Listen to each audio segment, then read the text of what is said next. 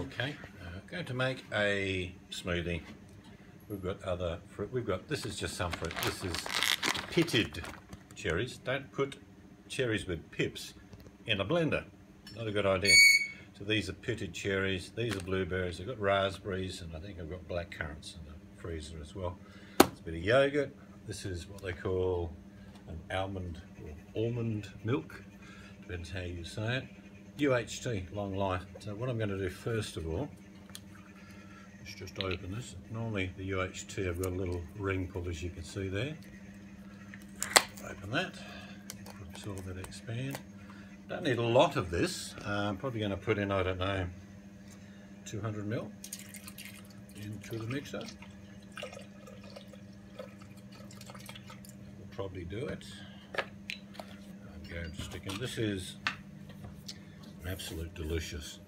This is a vanilla bean. Now you can use low fat if you like. I just won't be. So probably a couple of tablespoons of that and just to make sure. Mm. Absolutely disgusting. Really nice. Now I'm just going to put in know, a couple of small handfuls. If you're talking berries, probably about 30 of cherries. Open these up. Again, probably just a few of these. Uh, probably I'm going to go about, about eight. There's no hard and fast rule here. Now, I do like bananas. So what I'm going to do, we've got these bananas on special today. Down at Coles. So that's about it what I'm going to do, once it doesn't explode, and if it explodes, this video will go viral on YouTube.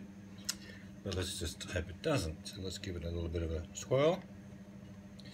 I need to turn it on first. It's always going to help. This is a 500 watt motor too, so not that not that bad.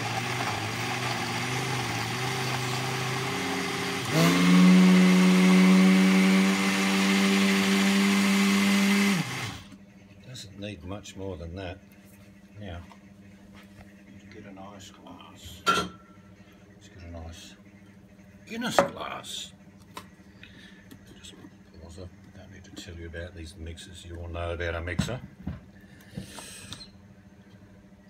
And that looks absolutely sensational. These little chunky bits, that's okay. And that's my wife's favourite colour. Let's do the taste test. Have a look at it first.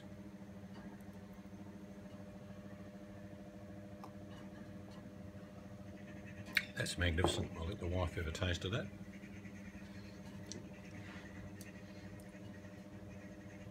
What do you think? Mm -hmm. Well, there you go. Uh, is it a... Shut up, parrot. This is not a milkshake. This is a smoothie made out of fresh, well, frozen fresh fruit, a little bit of yogurt, banana. You can do whatever you like. You can put whatever you want in there. The point of the exercise here, this tastes good and it's also good for you. So if you have been, thank you for watching.